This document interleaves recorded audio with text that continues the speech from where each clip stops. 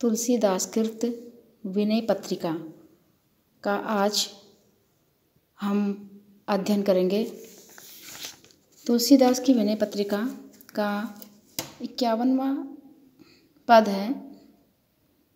जानकी नाथ रघुनाथ रागादितम तरुणी तारणयतु तनु तेज धार्म सचिदानंद आनंद कंदाकरम विश्व विश्राम रामाभिराम। नील वारिधर, सुभग, शुभकांति कटि पीत कौसे वर वसनधारी रतन हाटक जटित मुकुट मंडित मौली, भानु सत सदृश उद्युतकारी, रावण कुंडल भाल तिलक, भ्रूरुचिर अतिर अरुण, अभोज लोचन विशाल, वक्र अवलोक, त्रिलोक, श्लोक शोका पहम मार रिपु हृदय मानस मराल नासिका चारु सुकपोल द्विज वृजदुति अधर बिंबोपमा मधुर हरास कंठ दर चिंबुक वर वचन गंभीर तर सत्य संकल्प सुरत्रास नासम सुमन सुवचित्र नव तुलसी का दल युतम मृदुल वनमाल उर्भाज्रमान भ्रमत आमोदवस मंत मधुकर निरक मधुकर, मधुतर, मुखर कुरुवंत गान। सुभग श्रीवत्स केयूर कंटर हार, कंकड़ हार, किंकणी रट निरकटी तट रसालम। बाम दिशि जनक जासीन सिंहासनम, कनक मृदु वलिवत तरु तमाल। आजानो भुजदंड कोदंड मंडित वाम, बाहु दक्षिण पाणी बाण मेकम। अखिल मुनि निकर सुर सिद्ध गंधर्व वर नमत नर नाग अवनिप अनेकम। अनघ अविच्छन सर्वज्ञ सर्वेश खलु सर्वतोभद्र दाताम समाकम परण तजन खेत विच्छेद।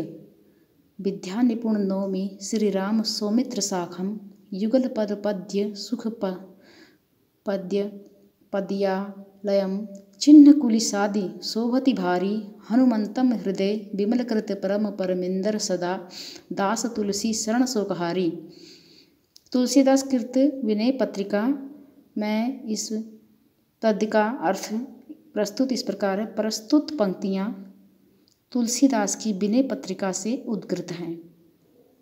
तुलसीदास ने विनय पत्रिका में एक पत्र रामचंद्र जी को लिखा है जिसके बारे में इसमें बखान है और इसमें पहले पंक्तियों का अर्थ है जानकी नाथ रघुनाथ रागादितम तरुण तरुणय तेज धाम सचिदानंद आनंद कंदा कर्म विश्व विश्राम रामा विराम।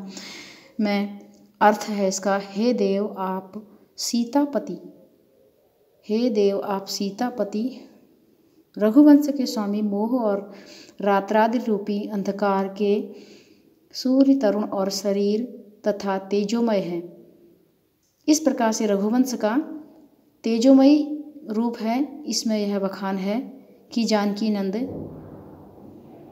के पति, यानी जानकी के पति कौन हुए श्री रामचंद्र जी। तो यहाँ श्री रामचंद्र जी का रूप और उसके बखान का वर्णन है कि उनका रूप इस प्रकार है। जिस प्रकार से अंधकार को नष्ट करने के लिए सूर्य की तेज होता है, इस प्रकार से उनका से शरीर है। आप सत्यचित आनंद स्वरूप हैं।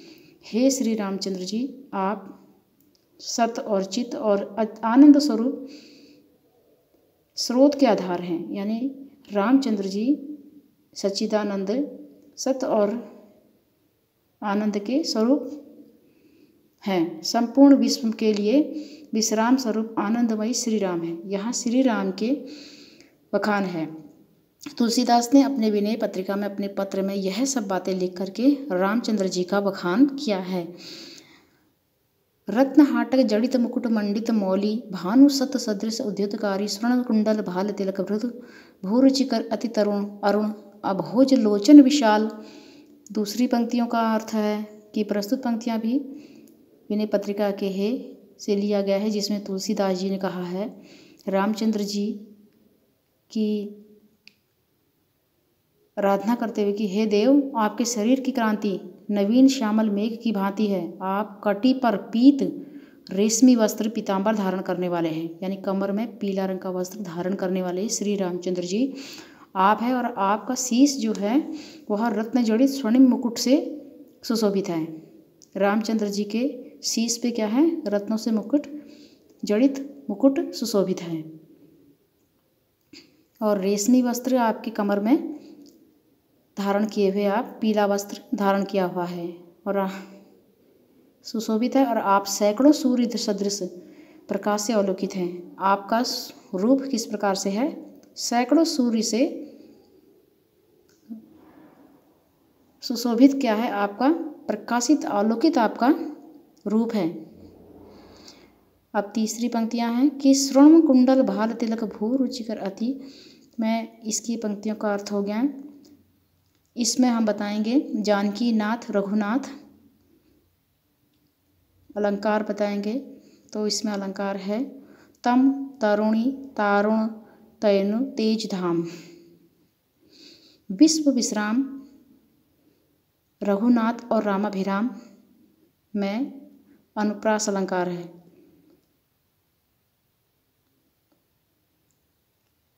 इसी प्रकार से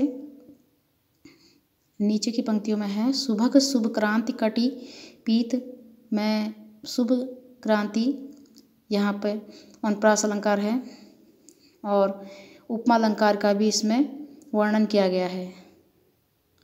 रत्न हाटक जड़ित मुकुट, मंडित मौली, इसमें भी उपमा अलंकार और रूपक अलंकार को दर्शाया गया है। श्रवण कुंडल भार, इसमें भी भाल भ्रूचर अति अरुण अभोज लोचन, मानस मनार मार, इसमें भी अलंकार, अनुप्रास अलंकार है। वक्र अवलोक, त्रिलोक सोखा पह मार, रिपु, हृदय, मानस मराल, नासिका, चारु, सुकोपोल, दिज ब्रजदुति अधर बिलो बिंबोपमा इसमें भी अर्थ है इसका कि हे देव, आपकी नासिका बहुत सुंदर है और कपोल प्रदेश, कोमल और दांतों की चमक भी आपकी हीरे की तरह है। अधर विमोपमा और आपका जो मुस्कुराहट है, आपके अधर होंठ जो हैं, वह भी बहुत सुंदर, कोमल, मधुर रास है। और आपके कंठ, आपकी जो ध्वनि है, आपके कंठ से निकलने वाली जो मधुर वाणी है, चिंबुर वर वर्जन बहुत ही मधुर है। थोड़ी आपकी रमणिक है, यह भी बहुत सुंदर है। और वाणी सत्य, संकल्पशील और देवताओं के भय को दूर करने वाला इस प्रकार के श्री रामचंद्र जी आपकी वाणी है।